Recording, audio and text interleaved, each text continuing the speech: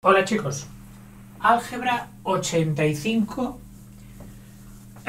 problemas de álgebra y del 85, este es el sexto vídeo, problemas 6.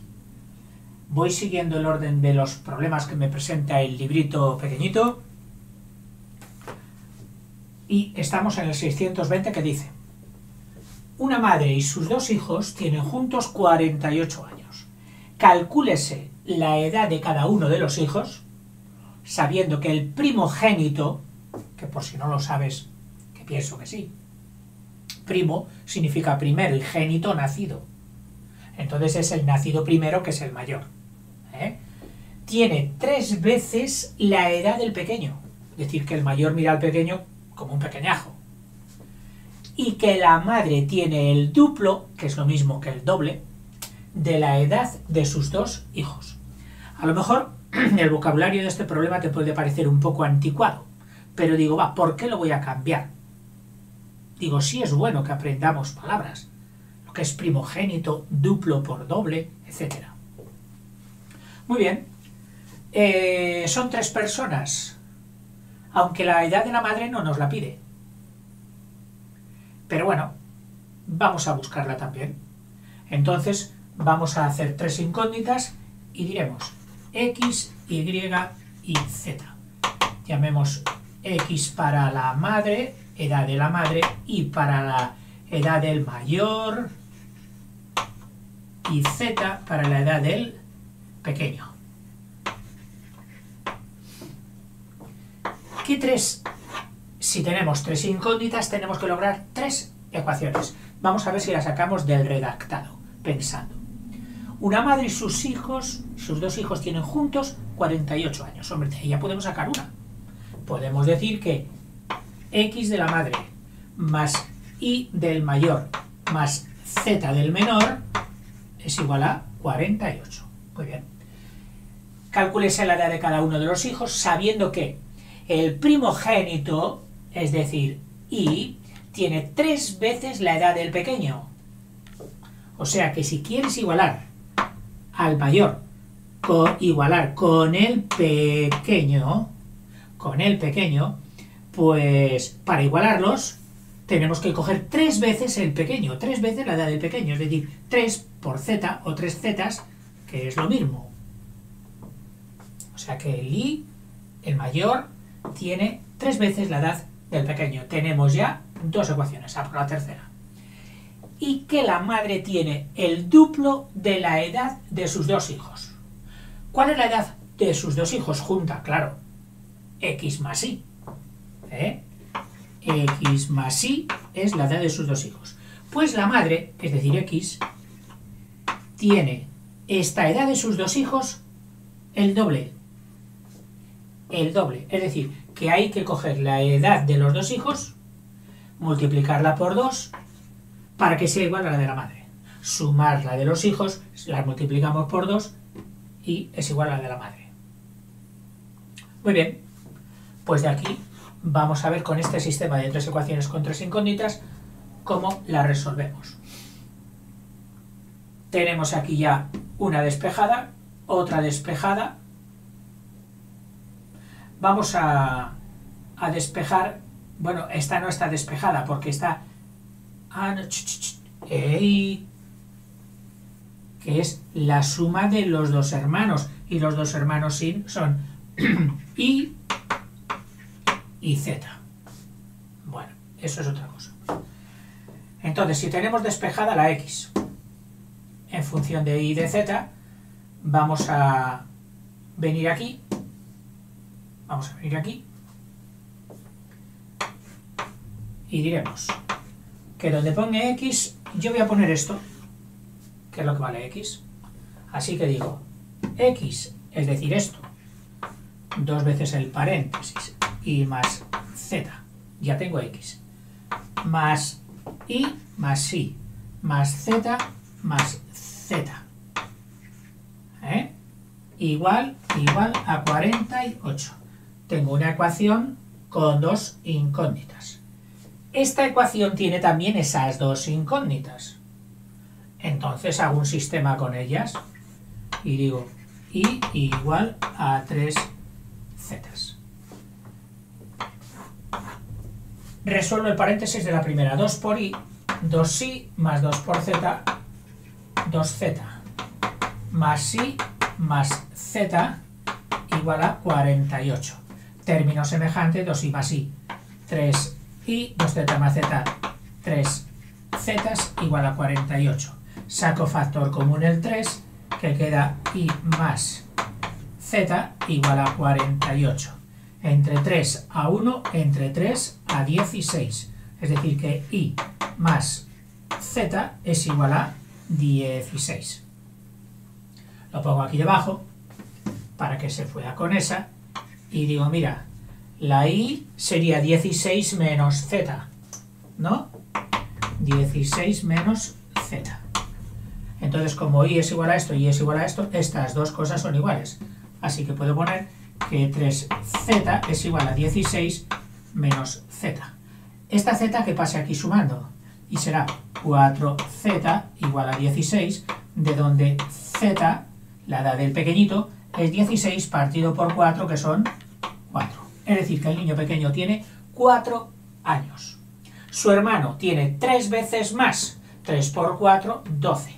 Es decir, el pequeño tiene 4, el mayor tiene, el mayor tiene 12 y la madre tiene dos veces la suma de los dos.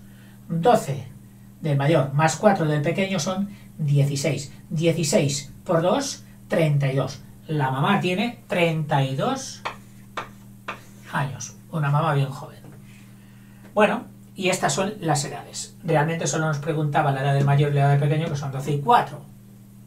Vamos a repasar ahora un poquito el problema, a ver si responden estas edades a lo que dice ahí. Una madre y sus dos hijos tienen juntos 48 años. Juntemos todas las edades. 32 y 12 son 44. 44 y 4, 48. Sí. La primera cosa sí. La edad de cada uno de los hijos sabiendo que el primogénito tiene tres veces la edad del pequeño. ¿El 12 es el triple del 4? Sí, porque 3 por 4 son 12. Y por último, que la madre tiene el duplo de la edad de sus hijos. La edad de sus hijos son 12 y 4, 16. El duplo, es decir, el doble, 32, que son los de la madre. Y ya tenemos el primer problema.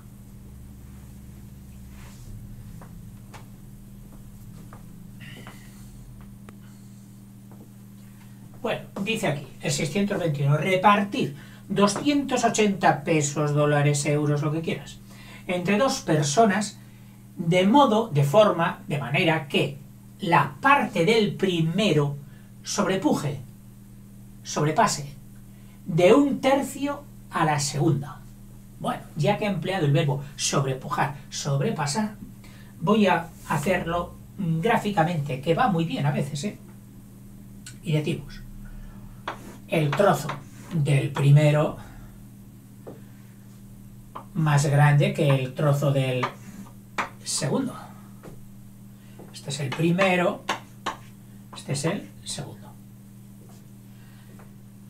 Si al trozo del segundo lo llamo X, este X le dice a este, dice, oye, me ganas, me sobrepujas, es decir, pujas, subes, por encima.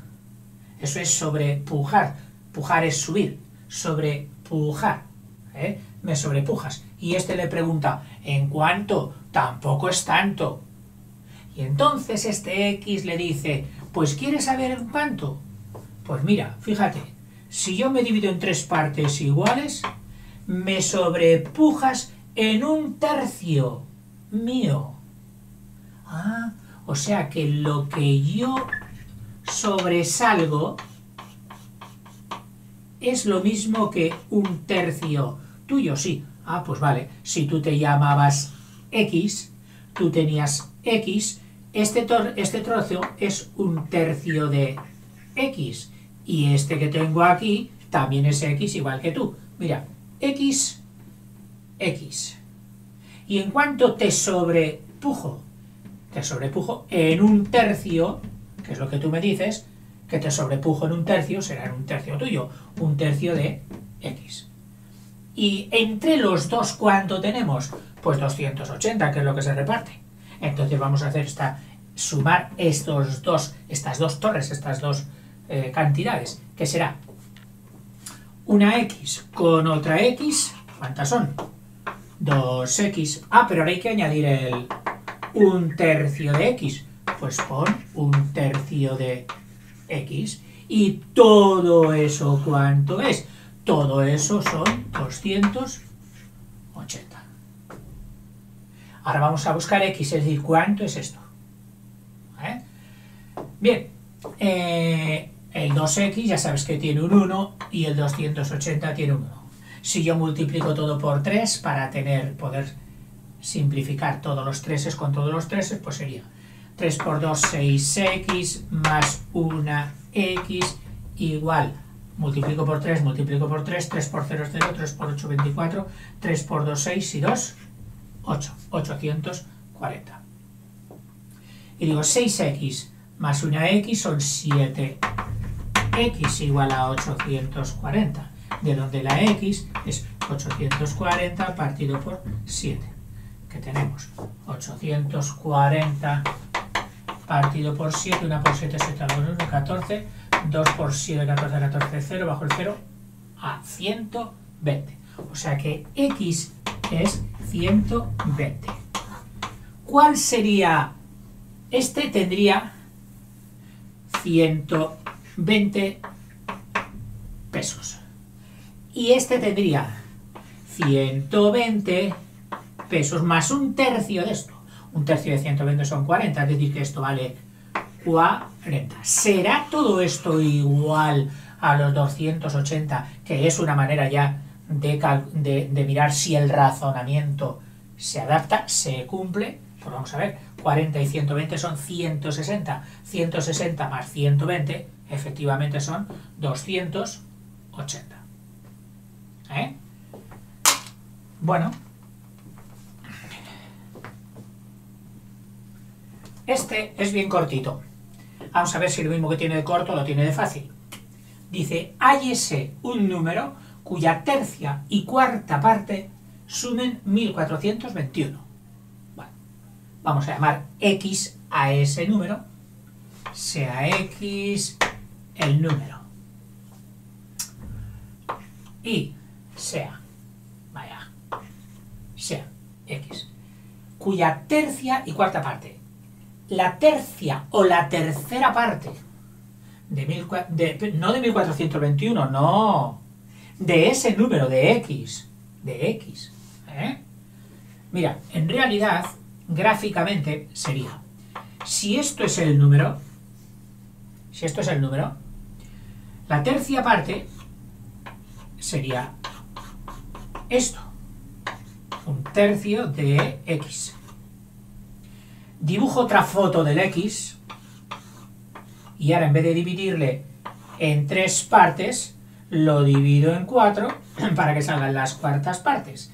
Y esto sería un cuarto de x. O sea, todo esto es x, todo esto es el mismo x, dos fotos. En una foto le he, hecho, le he cortado un tercio, en otra foto le he cortado un cuarto. Y dice el problema que al juntar un tercio con un cuarto, este trozo más este trozo es igual a 1421. Pero la pregunta es, ¿cuál es el número? Es decir, ¿cuál es la foto entera? La x entera. ¿Estamos? Bueno, pues entonces yo pongo que un tercio de x, que es esta foto, más un cuarto de x suman 1421 y resolvemos. A 1421 le pongo un 1, reduzco a común denominador todo, ¿eh? cogeré el 12, 12 avos, igual a 12 avos. Para tener 12 se multiplica por 4, 4 por 1 es 4, 4x. 4x. Aquí multiplicado por 3, para tener 12, 3 por 1x, 3x. Y aquí multiplicado por 12, pues 1421 por 12. 1421 por 12. 2 por 1 es 2, 2 por 2, 4, 2 por 4, 8, 2 por 1 es 2.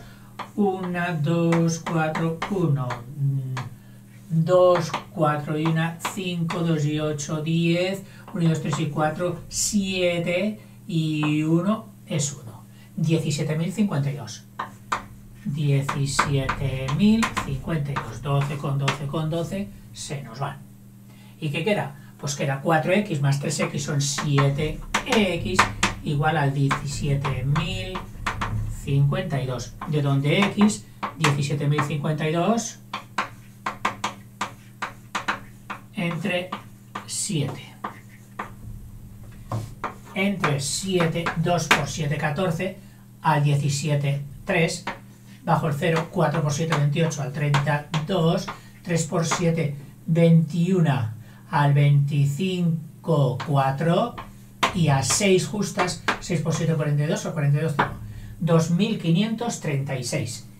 X es el 2500 2536. ¿Será cierto que la tercera parte de 2536 sumado a la cuarta parte de 2536 es igual a 1421? Vamos a probarlo. Eh, tercera parte de 25.036, digo, perdón, de 2.536. Pues será 2.536... ¿Qué digo yo 2.500? Si es 2400. Dios mío, que no me haya visto nadie, no miráis. 2436. La... Mira que si verifico y no me da, estaba arreglado. 2436. La tercera parte, el trocito de allá, que es el grande, ¿eh? Más grande que la cuarta parte, ya lo ves. Claro. 2436 entre 3. 8 por 3, 24. 1 por 3 y a 2. Sería este. Este sería 812. Vamos a ver quién es un cuarto de x. Pues el un cuarto de x será 2436 partido por 4 6 por 4, 24, 24, 0, a 0, bajo el 6, 9 por 4, 23, el 609. El 609. ¿Será cierto que la tercera parte más la cuarta parte suman 1421? ¿Qué es lo que dice el problema? Vamos a verlo.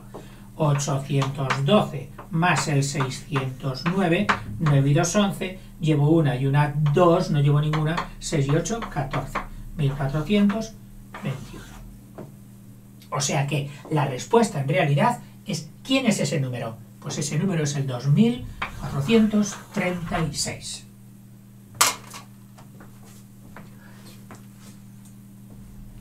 Bueno, vamos a por el último de hoy, ¿qué dice? Una suma. Una suma es una manera de hablar para decir una cantidad. Oh, tenemos una suma de dinero muy... Eh, una cantidad de dinero y de una suma de 1050 pesos, o monedas, está formada por un mismo número de monedas de 25 pesos y de 5 pesos. ¿Cuál es ese número?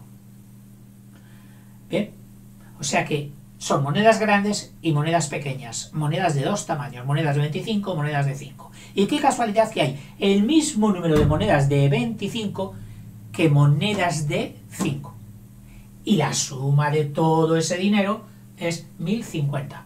Pues bueno, vamos a ver. Eh, ese número vamos a llamarle X. Entonces diríamos, X monedas de 25, X monedas de 25, X por 25, ¿eh?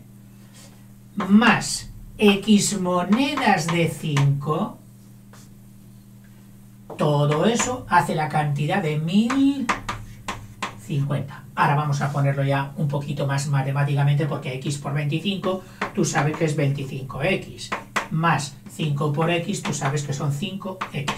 Igual a 1050. 25x más 5x son 30x, así de fácil. Igual a 1050, de donde el 30 pasa dividiendo, y el número de monedas será 1050 entre 30, que simplificas entre 10 entre 10, divides 105 entre 3, que es 10 entre 3 a 3, queda 1, con el 5 hace 15, 15 entre 3 a 5. O sea que el número de monedas es 35. 35 monedas de 25 más 35 monedas de 5. ¿Será cierto que eso hace 1050? Bueno, pues mira, si multiplicas 35 monedas por 25, que vale cada moneda, 35 por 25 y 35 monedas de 5 y sumas lo que te dé aquí más lo que te dé aquí, tiene que ser igual, sumando las dos cantidades, tiene que ser igual a 1050. Te dejo que hagas todo esto. ¿eh? Y te aconsejaría que estos problemas, una vez que los ves escritos, cuando yo voy a empezar a hablar, ¡paf! Me dejes mudo y los hagas tú solo. Y cuando tengas la respuesta, me das voz otra vez. ¿Estamos? Venga, hasta otro.